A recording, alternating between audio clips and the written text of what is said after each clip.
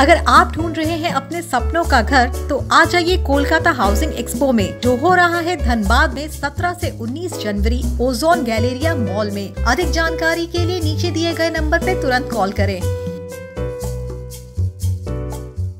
Canning में एक अज्ञात व्यक्ति की लाश मिलने से इलाके में उत्तेजना फैल गई। मौके पर कैनिंग थाने की पुलिस पहुँची और जाँच पड़ताल में जुटी हुई है। मिली जानकारी के अनुसार अज्ञात व्यक्ति का शव तालाब के किनारे पड़ा मिला। ये घटना कैनिंग पुलिस स्टेशन के लताड़ी गाँव में हुई। हालाँकि व्यक्ति की पहचान अभी नहीं हो पाई है। पुलिस ने शव को पोस्टमार्टम के लिए महकमा अस्पताल भेजा।